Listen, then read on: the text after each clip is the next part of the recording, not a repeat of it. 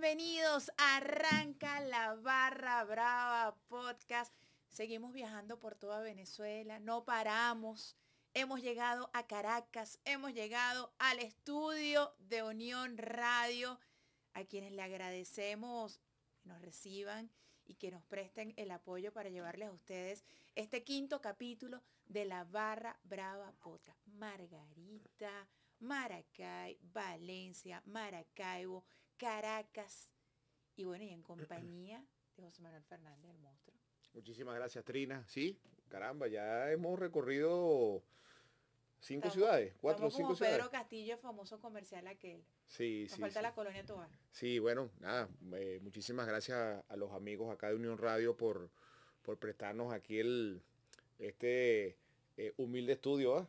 Casi Pero nada. Estamos, Estamos súper cómodos, sí, estamos vale. súper cómodos, sí. Además eh, que el super ah, equipo técnico que nos está apoyando, por ahí está Jonathan Acevedo, Rubén da Silva está ahí activo también apoyándonos. Y bueno, contentos en esta nueva edición de, de la Barra Brava Podcast, el podcast oficial de nuestros Bravos de Margarita, de nuestra máquina de guerra, que bueno, vamos a hablar de, de esta semana.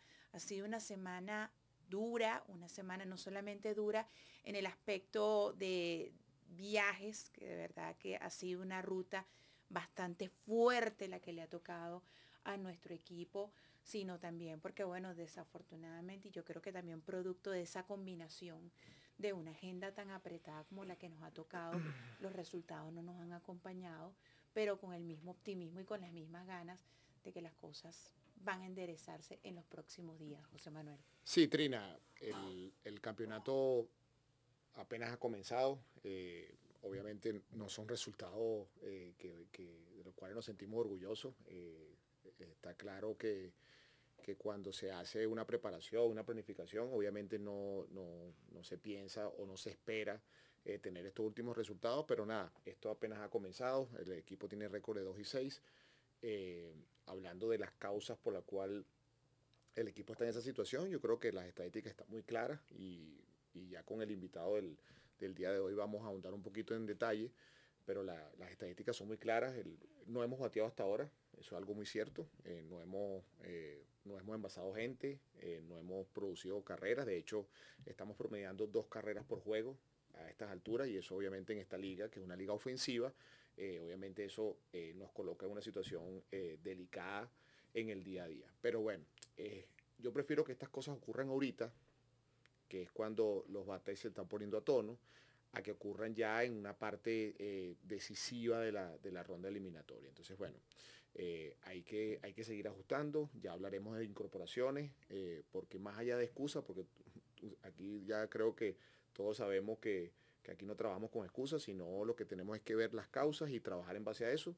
Hay que, hay que ajustarnos. Creo que esta es una semana que logísticamente hablando, si pueden ver el calendario, es una semana que se presta mucho para que tengamos regularidad en las prácticas, en, en- en- en todo lo que es el- horas de sueño, horas de descanso. Vamos a estar, vamos a estar para que sepan toda la semana en Caracas. Vamos a jugar eh, en Caracas miércoles, el jueves vamos a Valencia, pero venimos eh, de Valencia ese mismo día. El viernes volvemos a jugar en Caracas. El sábado vamos a Maracay y regresamos.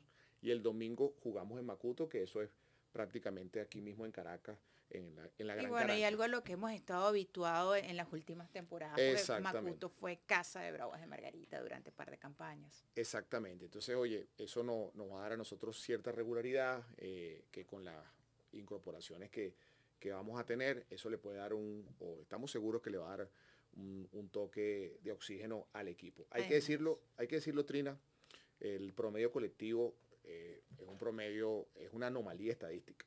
Estamos hablando de un promedio eh, de todo el grupo de menos de 200 Ujú. eh, con un porcentaje de envasado de 263.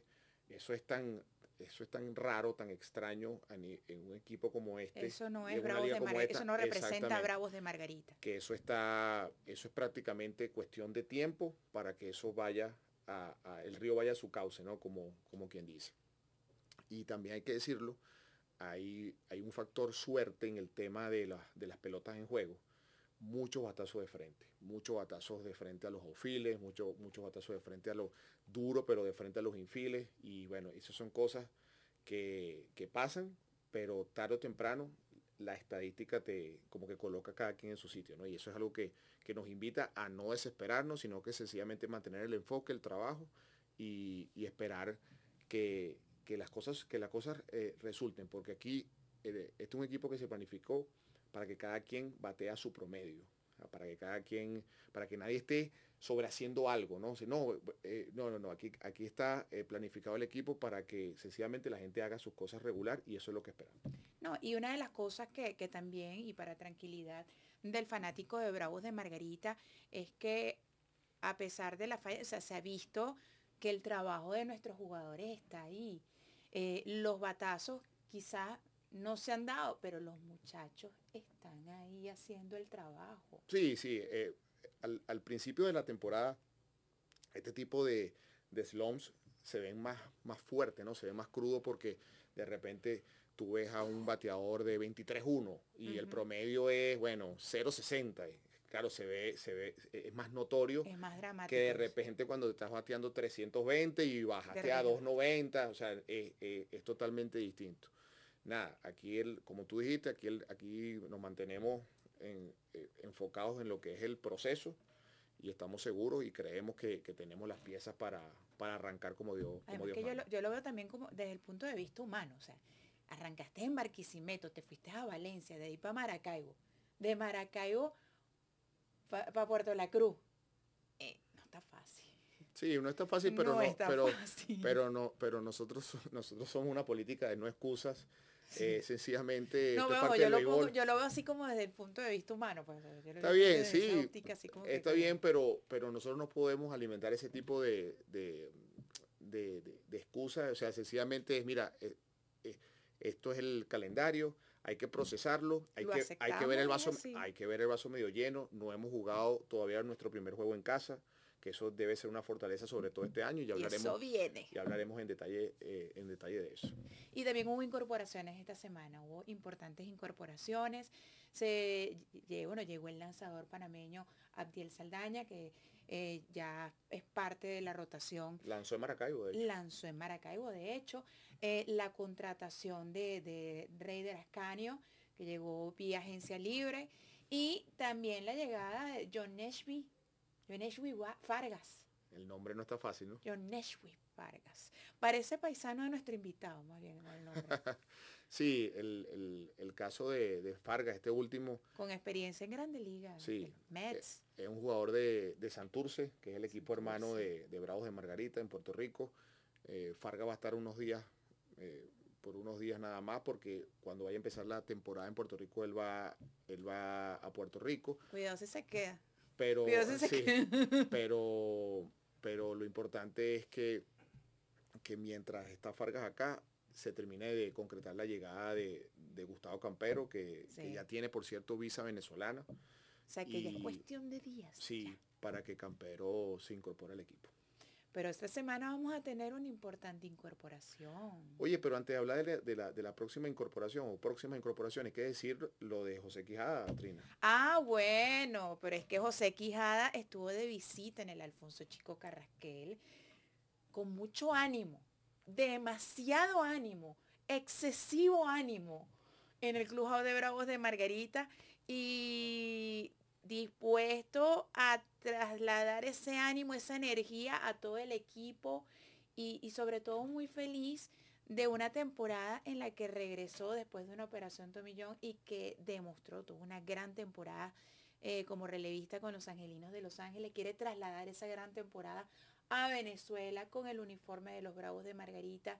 Y bueno, dice que ya su brazo está en salud, que está súper chévere, que entre el 10 y 15 de noviembre ya pudiese estar estrenándose con Bravo. Por cierto que entre el 10 y 15 de noviembre Bravo va a estar en Margarita, así que el estreno va a ser en casa. Él dijo que bueno, que nada más con su familia él va a llenar ese estadio, que son como 300 y se los va a llevar a todos dispuestos a hacerle barra y están ahí listos. De hecho está por ahí también esperándolo Bam Valerio, Chispita, todo eso personajes influencers de Margarita. Ah, no sabía. Son amiguísimos de Quijada y lo están esperando por allá. Ah, qué bueno. Mira, no, la verdad que, que esa eh, incorporación de Quijada al equipo y su, y su lógico estreno va a ser muy positivo para el club, para darnos un poquito de profundidad ahí tarde en el juego, ahí en el bullpen. Eh, estamos hablando de, alguien que, en esta liga está llamado a ser un cerrador élite. Eh, está en buenas condiciones, está sano, que es, lo, que es, lo, más importante. Ha hecho todo como que al pie de la letra para, para tener eh, el permiso de los, de los Angels y nada. Y, y estamos bien, lo, vemos como una especie de ese tipo de incorporaciones, así como, como si fuera un importado para la segunda mitad de temporada. No, y de paso, que no solamente va a traer la calidad al montículo, sino también ya con esa carga de energía que trae ese ánimo, eso también va a ser fundamental dentro del clubhouse, esa alegría que, ya, ya está irradiando José Quijada. Antes de, antes de la, antes de hablar de Quijada o antes de la, esa llegada de Quijada al equipo ya formalmente, ¿no? Para, para, para lanzar, hay que hablar de esta semana, Trina. Hay alguien por ahí que ha estado recorriendo Europa, que ha estado paseando, incluso hasta montó camello por ahí. Sí. Y, ya, él dijo, ya, se acabaron las vacaciones, ya disfruté, ya paseé, la pasé chévere, pero llegó un momento de uniformarme. Sí, Eduardo Olivares, eh, bueno, ya ya, ya estaba en Orlando, en su casa en Orlando, en Estados Unidos.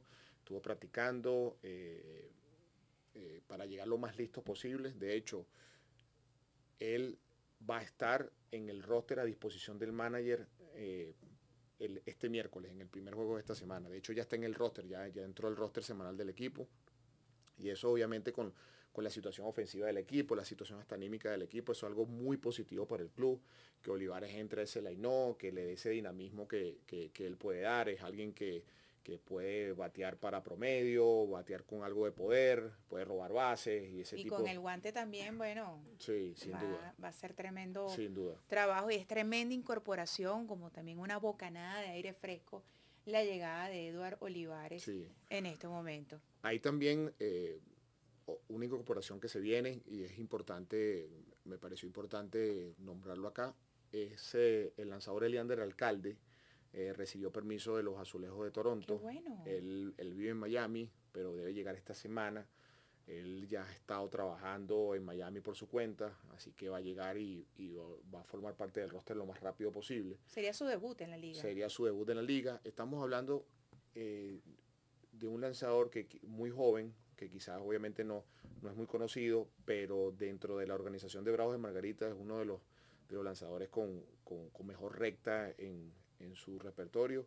Ya tenemos inclusive las restricciones, las guías de, de, picheo de parte de Toronto y, la verdad que, nos parece súper positivo que, que Leander pueda estar con el equipo, lograr su debut y ayudar allí en el, en el, en el bullpen que, que sin duda siempre va a ser bienvenido. Eh, maravilloso eso. Bueno, y también quien, a quien ha estado también trabajando bastante y preparándose para su, futuro debut de Antonio Molina. Sí, y Anthony Molina, eh, que bueno, ya, ya tiene esta fecha y todo. Estamos hablando del 31 de octubre, su primera salida. Siempre va a trabajar como abridor en esa primera presentación. Seguramente lance unos dos o tres innings. Eh, pero desde, desde ese 31 de octubre, Molina va a ser uno de los abridores de Bravos de Margarita por unos 30-35 innings, que fue el permiso eh, que dio los Rockies de Colorado. Ya cuando cumplamos o cuando se cumplan esa, esa cantidad de innings, ya veremos exactamente la situación y, y hablaremos con Colorado pero que Anthony forme parte de la rotación con ese permiso de Colorado y con esa experiencia que tuvo este año en grandes ligas, creo que es bastante positivo para el club.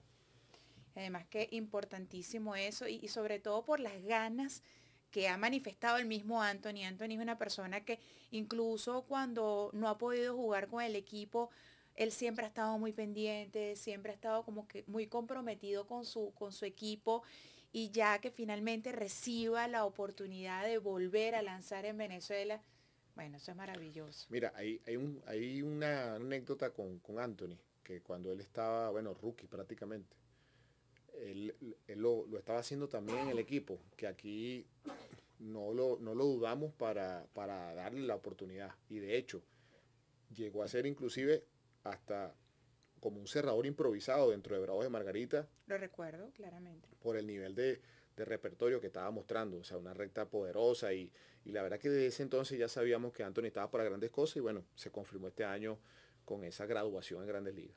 Y bueno, y ahora con esa eh, disposición de los Rockies de Colorado de quererlo preparar para incluirlo en su rotación, porque el hecho de que, que, venga en calidad de abridor es porque ya los Rockies tienen el plan con él de, incorporarlo a, a, su rotación. Y bueno, ya la isla de Margarita se sigue preparando para darle la bienvenida a su equipo. Les recordamos a, bueno, a toda la gente que están observando la Barra Brava Podcast que sigue la venta de nuestros abonados, continúan con un 15% de descuento y también va a comenzar esta misma semana la venta de las entradas individuales para el juego inaugural. La gente está muy pendiente, han preguntado que en cuánto van a estar los precios en el Estadio Nueva Esparta accesibles en todos nuestros sectores. Miren, la más económica, dos dólares, dos dolitas. y la más cara, 30 dólares. El VIP terreno, 30 dólares. Y allí, mira, 25 dólares. Van a haber diferentes precios, todos adaptados a los diferentes bolsillos. Y además, además de eso, Bus Margarita va a habilitar una ruta para que todos los fanáticos desde diferentes rincones de nuestra isla tengan la posibilidad de asistir a los compromisos con la tranquilidad que van a poder regresar a su casa seguros en unas unidades con aire acondicionado y confortables. No, no, nada. Eh, eh, nuestro próximo programa, de hecho, va a ser en la isla de Margarita, Dios mediante. Nuestros amigos de UniTV, prepárense que vamos para allá volvemos a, al estudio inteligente allá en el centro comercial La Vela a transmitir la Barra Brava Podcast. Trino, la verdad que bueno, muy, muy entusiasmado, me parece increíble que, ya queden días, pues, nada más para, para que el equipo vuelva a jugar en, el estadio en Guatamare. En Margarita. Lo veíamos lejos, ¿no? Lo veíamos muy lejos y nada. Eh, obviamente estamos ultimando detalles para que, para que el equipo, para que ese regreso sea lo, lo, lo, más placentero posible y nada, eh, el, conteo regresivo ya prácticamente va a llegar a su fin. No, hay muchos jugadores del equipo que, que, bueno, que llevan ya rato con el equipo y ni siquiera han tenido la oportunidad de debutar ante el público Ramón Flores, por ejemplo. Ramón Flores, por mencionar un, ejemplo. Eh, bueno, y nuestro invitado se va a reencontrar con el público margariteño. Ese sí sabe lo que es jugar en Margarita. Ese sí ha recibido aplausos, elogios y todo el público margariteño. Se conoce hasta los rincones de Margarita. ¿Ya se viene ya? Ese tiene su sitio. Pero, pero ¿Tú quieres que se venga ya nuestro invitado? de, una, de, una, Vamos, A, vamos a darle bienvenida.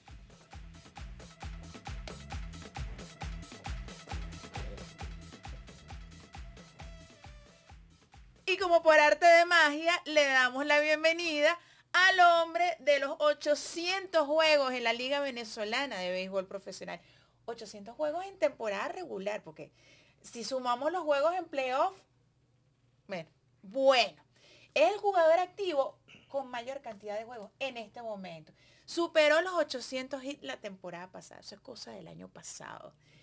Está jugando su temporada de retiro y está dejando puras cifras redondas 20 años en la Liga Venezolana, el 10 con, con Bravos de Margarita, 2 con Pastora y bueno, Alberto González, el Tico. Muchas gracias, muchas gracias, de verdad. Contento eh, y orgulloso de mí mismo ¿no? de conseguir los 800 juegos jugados y más que, más que todo con, la camisa de los Bravos de Margarita. Alberto, cuando tú empezaste tu carrera, 2004, tu carrera profesional en la liga, ¿Tú llegaste a pensar que tú ibas a durar, a durar tanto? O sea, que ibas a jugar por tantos años. O sea, mm. ¿era algo así como una meta o un objetivo? tú sencillamente dirías, vamos año por año, a ver qué tal? No, o sea, siempre la meta era, cada quien hace su, su pensar, ¿no? Su, claro. Eh, firmé, ya fue un sueño, ¿no? Logrado, firmé, me firmó Pastora, Los Bravos, eh, ya poco a poco que si ganaron campeonato, que si esto, aquello y poco a poco manteniendo, ¿no? Eh, con el favor de Dios, gracias a Dios, eh, me liberó de las lesiones y pude lograr todos estos 20 años, ¿no? 20 temporadas en la liga y, bueno, solamente decirle gracias a Dios y a la familia por siempre el apoyo. Además que no es solamente 20 años y ya no, 20 años haciendo el trabajo en los diferentes equipos en los que has estado, destacando, haciendo una buena labor. O sea, no 20 años pasando por debajo de la mesa, 20 años haciendo las cosas, Hermano, diste tu hit 800 la temporada pasada. Eso es porque, se, porque has bateado bastante en esta liga. Sí, claro que sí. Este, uno siempre se enfoca eh, día a día, juego a juego. Eh, hay temporadas malas, hay temporadas buenas. Y un Alberto González siempre daba el 100% o da el 100%, porque todavía no, sí, no claro, claro, claro. Retirado, pero doy el 100% de verdad siempre en el terreno. Eh, incluso ahora que no juego, igualito el día que me toque jugar, ahí doy yo mi 100%. Eso fue un Alberto todos esos años de la temporada y bueno, gracias a Dios conseguí los 800 y los 800 juegos, a 20 temporadas, porque siempre era día a día, día a día y lograr todo. Cuando, cuando hablamos en, en, la pretemporada de todo lo que, lo que sería esta 2024-2025, hablamos de lo importante, Alberto, que es para ti, para nosotros como equipo, como organización, que tú seas mucho más que un jugador este año, que tú seas como un guía con los más jóvenes, con, con, con más, allá, más allá de un coach, que seas como, como un mentor, ¿no? Con, lo, con los jugadores más jóvenes del, del equipo y la organización. ¿Qué consejo le darías tú a los más jóvenes o a, lo, a, los peloteros que están empezando su carrera en esta liga la, como clave para, para esta estamina y esta durabilidad por, por, tantas temporadas?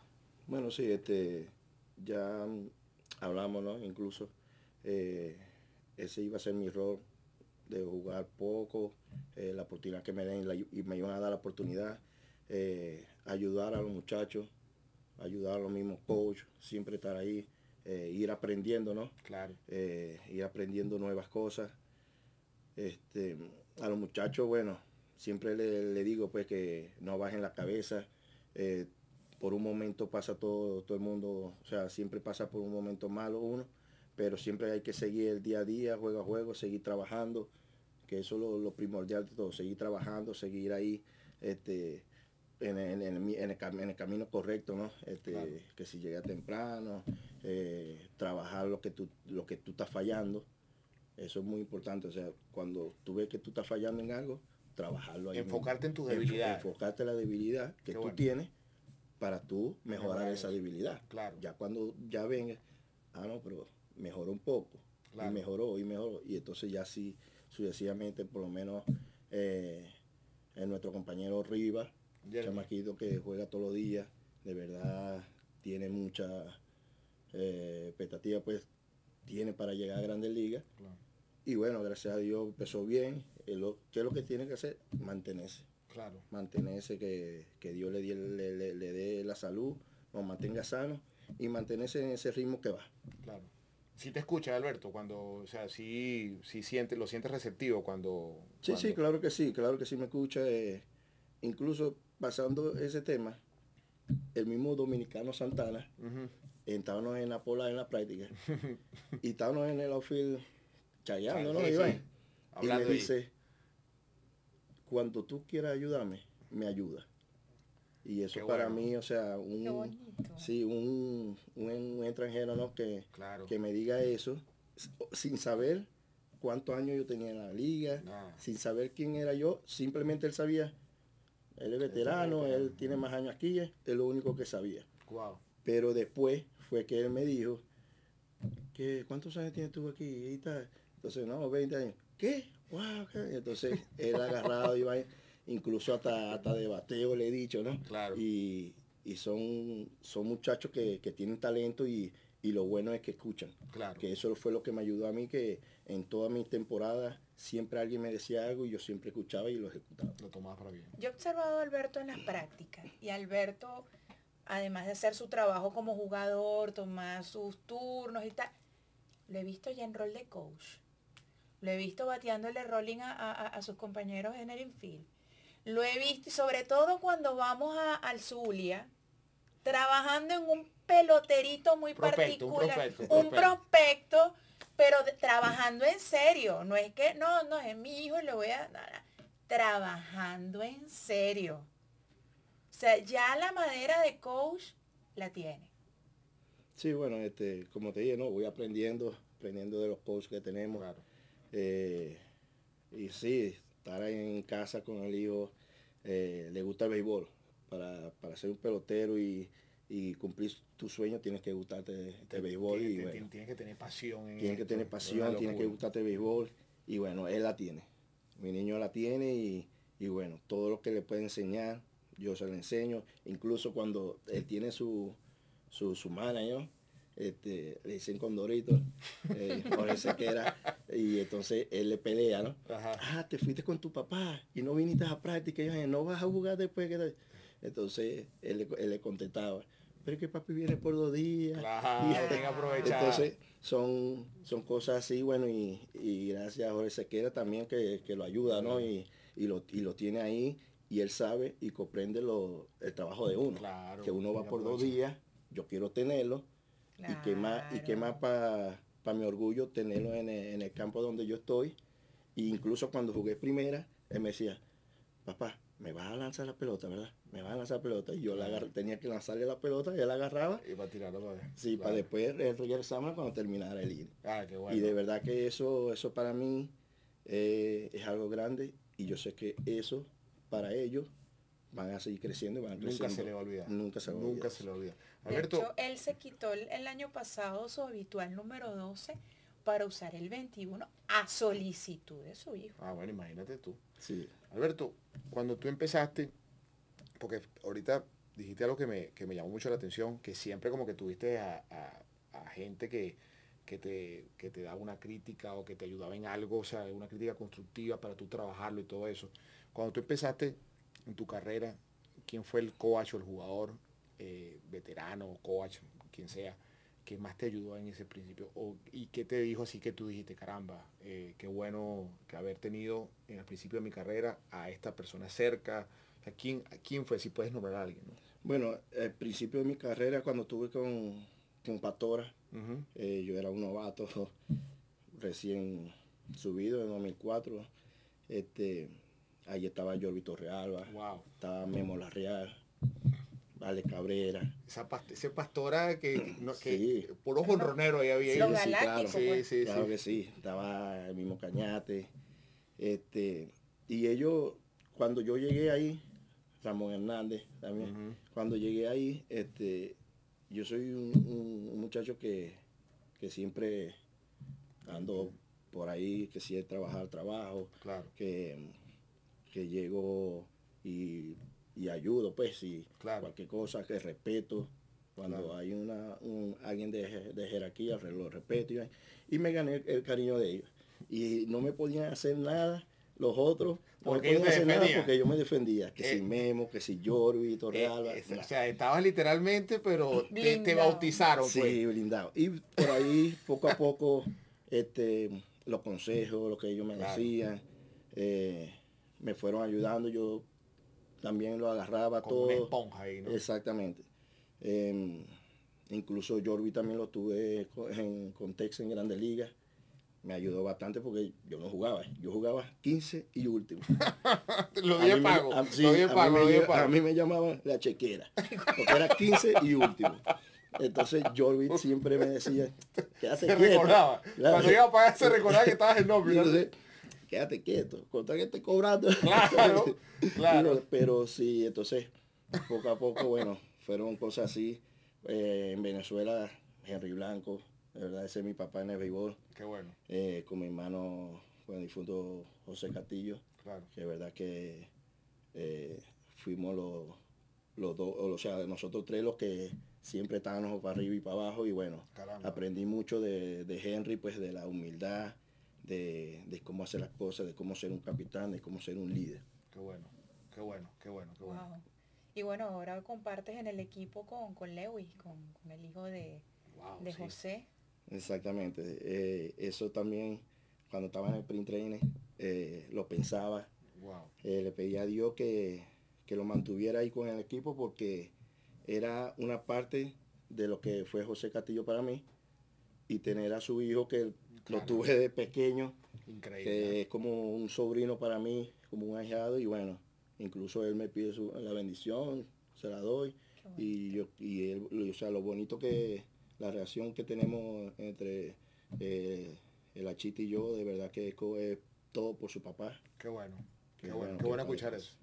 ¿tú, tú llegaste a coincidir con, con- con José Castillo en, en algún equipo? Con los Bravos. eh, eh, con los Bravos, sí, ¿verdad? con los Pero, Bravos. pero fue por, por, por Sí. tiempo muy, Con los muy- corto. Después con, con la Guaira. Con la Guaira. Pero claro, en Bravos en, en esa ocasión fue por, por, por poco tiempo, ¿no? Sí, Porque. Castillo jugó por poco, di- pero qué, qué, qué, qué interesante que no hay necesidad de jugar tanto tiempo con alguien pa- Para impacte. desarrollar una, una relación, ¿no? Exacto, así era, así fue Henry también. Henry Claro. venía de Caracas. Exacto, e- Henry exacto. venía de Caracas cuando llegamos a, a los Bravos. Y ahí todo, o sea, ahí éramos que si Fran Díaz, Luis Ramírez, Claro, o sea, veíamos mucho ahí en el conjunto. increíble, ¿no? Así es, así es. Mira, y el equipo, bueno, se está preparando para volver a la isla de Margarita. Y eso es una plaza que ya tú te la conoces como anillo al dedo. Ya tú, Margarita, Margarita y tú, tú y Margarita ya. Es una relación de vieja data. Sí, sí, de verdad que bueno, tuve la oportunidad de, de estar no hace mucho por allá. Ajá, Valle. eh, y está muy bonita, está muy bonita y bueno, el entusiasmo que hay de que el equipo vaya para allá, para, para Margarita es mucho. Es mucho. Sí, Mucha sí, gente que, verdad que sí. está emocionada de que el equipo vaya para allá y bueno, eh, no, se comenzó, no se comenzó como, como esperaba, ¿no? Pero como tú dijiste, estamos temprano todavía, vamos a empezar a hacer ajustes esta semana y bueno, con el favor de Dios no, eh, vamos a ir positivo esta semana y bueno, vamos a ir, eh, vamos a estar arriba en la parte de arriba de, del- Claro. para, para llegar bien a, Mar- a Margarita. Claro, eh, Alberto, en tantos años en tu carrera, yo siempre he dicho que en el béisbol el pelotero convive con el fracaso. Porque de 10-3, fallas 7 veces y eres tremendo bate, porque Ujú. estás batiendo 300. Sí. Es decir, el fracaso es parte del día a día, es impresionante. Este comienzo del equipo, principalmente en el área ofensiva, que es donde, donde, donde más se, se ha visto eh, eh, la falla, pues, por decirlo así, porque aquí hablamos, aquí hablamos claro. A través de tu experiencia y todo eso, ¿qué es la clave para salir de este tipo de baches? Así que no, que no te vayas a, que, que- que no te vayas a, a saturar de presión, porque a veces qué sucede que el pelotero de repente quiere dar tres y en un solo turno, ¿no? Ese tipo de cosas, ¿Qué- ¿Cuál es la clave eh, para que varios o para que el equipo en, en- en sí prenda la máquina, como quien dice? Sí, eso, eso le pasa a todo el mundo, no solamente a uno, a mí también me ha pasado. Claro. Eh, pero como mi- con, con mi experiencia fui aprendiendo, fui aprendiendo, fui aprendiendo. Y incluso soy mejor bateador ahora después de mi exper- experiencia que antes. Claro, ¿no? claro, y claro, todo claro. el mundo lo sabe. Pero sí hay que, hay que controlar un poco eso porque como tú lo dijiste, en un turno tú no vas a dar 3 y y te- me voy de 4-3. Sí, un jonrón o cinco jonrones en un turno. Exacto. O ser el héroe. Sí, Sí. porque eh, eh, te saturas tanto que, que, que das un hit y pasaste de 0.80 a, a 100, por ejemplo. Decía, Dios mío, ¿cuántos hits tengo que Exacto, como dije temprano, pues día a día, turno a turno, Picheo a picheo. picheo a picheo. Uno se va, por lo menos yo entré a jugar, primer turno base por hora, segundo turno fallé, tercer turno yo quería dar hit, Claro, ¿verdad? Pero fui turno a turno, picheo a picheo. claro. Y eso es lo que le, le recomiendo a los, los Y muchachos. cuando pues. dijiste ese triple, bueno, cuando dice el triple tenía años sin darlo. Sí. ¿Sabes que te iba a echar broma? Yo dije, en algún momento le voy a echar broma con ese triple, porque yo cuando veo el triple de Alberto, yo dije, no, listo, listo, está, está saliendo todo, yo me diciendo, hablando así, hablando uno solo, y que Mi no, está saliendo todo perfecto tal cual lo planificamos. Triple de Alberto González Bueno. en Puerto La Cruz, en Puerto La Cruz que le estoy bien pequeñito. Bueno, imagínese. Imagínate, a la una de la tarde. Y a la una de la tarde. Yo cuando te vi llegando a tercera, yo dije, caramba. Ahogado, no, no. ahogado. búsquenle bombona. Yo lo vi a correr y yo estaba cansado. Yo decía, Dios mío, no, no está fácil, no está Sí, fácil. no, no el está mismo. Astudillo, Astudillo del Dogado haciendo los seis así como que, caramba. No, porque ¿qué fue? estuvo buscando esa pelota ahí por todos lados. Alberto de segunda a tercera metió coroche y dijo, ya va, déjame recuerdo un poquito. No, ya va, déjame ir, frenando. Sí. Pero sí, este, hay que ir turno a turno, eh, inning por inning. Yo sé que el equipo que nosotros tenemos eh, prácticamente el mismo del año pasado. Claro, eh, y son muchachos que ellos saben que baten. claro, vale. Ellos saben que, qué es lo que puede Claro, hacer. claro, claro. Simplemente, bueno, como, como estaban diciendo, pues no hay excusa, porque para esto no, no existen excusas ni nada, pero si no ha pegado un poco los viajes, eh, incluso hasta uno, pues, eh, que no juega todos los días, imagínate, uno le pega, ellos que juegan todos los días también le van a pegar más, pues. Claro. Pero sí, este, ellos, yo sé que ellos van a, a salir de eso y poco a poco, ya cuando uno empiece a dar gira, a dar gira, a dar gira, ya yo sé que todo va a salir. Ya David, yo su tres en- ahí en Puerto Cruz, Rodríguez. Wilson, eh, Flores. uno de los ya, 300. ya poco a poco, ya poco a Es- poco es se va a de- ir. es una cuestión de Exacto, porque cuando ya empiece uno a conseguir los hits, viene el otro, otro hitcito, ya todo se va como que amueblando todo. Sí, y, y ahí, y ahí va, sí van a empezar a caer los podriditos, los, los Todo, bloopers y todo. eso, porque eso es así. Sí. Mira, Alberto, tú estás hablando ya de, de- de que este es tu año de retiro. De hecho, ya en la Liga Mayor te retiraste con, con senador. y Te retiraste, oye, con, con el título y Con todo. anillo. Este, disculpa, José, disculpa. Estoy hablando del título de senador. Disculpe. Oye, ¿qué segundo? ¿Qué vamos a hacer? ¿Qué vamos a hacer? ¿Qué vamos- Que Al- la campeón otra vez. ¿eh? Alberto en la final no batió, no batió mucho, batió nada más como 870 guaras. Y pareció, yo decía, Dios mío, pero no le, no le podemos pichar a Alberto. Qué locura. Sí, es sí. impresionante. Bueno, pero... Y estás preparando ya tu retiro con, en la Liga Venezolana con Bravos de Margarita. Y estás coincidiendo con otro personaje que también eligió esta temporada para retirarse. Wilson Ramos. Una historia que ha estado como muy, muy enlazada. De hecho, en días recientes la Liga Venezolana hizo en, en su página oficial un, un trabajo al respecto y hablaron de cómo esas historias de ustedes estaban enlazadas desde los nacionales de Washington. Sí, Sí. sí. Eh, yo tuve con los Nacional de Washington en el 2008, que los Yankees me cambiaron. Y bueno, ya yo tenía dos años y medio, tres años cuando Wilson, Ahí sí te dejaste crecer la barba y todo. Sí, y ahí este, Wilson llegó en el 2010. Y bueno, yo estaba allá en Grandes Ligas, lo recibí.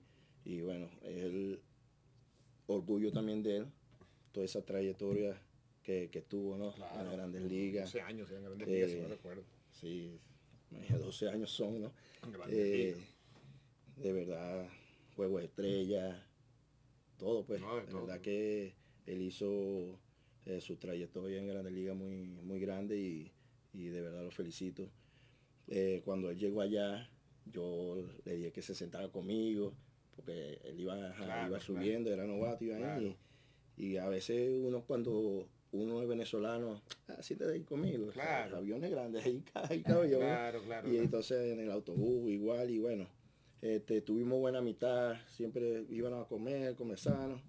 Y bueno, y, y él decir eso él aquí, cuando le hicieron la entrevista, de verdad que me sentí como que orgulloso, me sentí, eh, como, como se dice cuando este, una persona te agradece, Sí. me sentí agradecido pues. Claro, claro, claro. lo que yo hice, él comentó, ¿no? Qué bueno. que lo tiene aquí en la Te mente. valorado, vale. Exacto, que lo tiene aquí en la mente y bueno, ¿qué más retirarme con él aquí?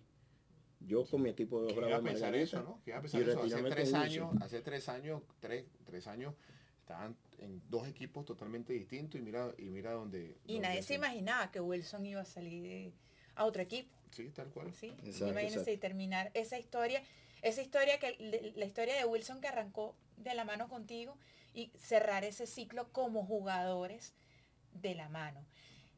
Alberto, ya para ir finalizando, pues tenemos que ir ya despidiendo nuestro capítulo de la Barra Brava Podcast. ¿Qué viene después? O sea, ya cuando tú llegues ese, ese, ese último juego, cuando ya te retires formalmente como pelotero, ¿qué has pensado? ¿Qué viene por ahí? Bueno, de verdad, ahorita no he, he pensado muchas cosas. he pensado muchas cosas. Pero no, no tengo nada específico. Este, estoy esperando solamente el momento, estoy esperando el llamado. Eh, pero de que me gustaría, me gustaría estar en el terreno, eh, ser más que todo instructor de infield, porque yo sé que eso fue lo que me llevó a mí a grandes ligas. Claro. ¿no? mi defensa y yo creo que yo puedo ayudar a, a mucho a, a la defensa y, y por qué no instructor de infield, coa de infield, Y, y, y, Y- por ahí, y por- no vamos. ahí. Y por ahí no vamos. quien quita que Bueno, maravilloso. Y de paso seguir formando ese prospectico que viene en camino. Claro que sí, con el favor de que Dios. tiene esa chispa, tiene ese talento y seguramente lo vamos a ver muy pronto en nuestro, en nuestro circuito. Mira, ya para eh, mandarle un mensaje a la fanaticada margariteña que ya está contando los días, las horas, los minutos, los segundos para abrazar a su equipo. Un saludo a todas las fanáticas de Margarita. Sigan apoyando a los Bravos de Margarita, la máquina de guerra. Va para casa. Pero ya lo escucharon. Alberto González en la casa conversando con nosotros aquí en la barra Brava Podcast. José, un gustazo como siempre. No, no, el gusto es estar, eh, bueno, toda la semana este contacto con ustedes. Eh, Dios mediante, nuestro próximo programa va a ser en la isla de Margarita.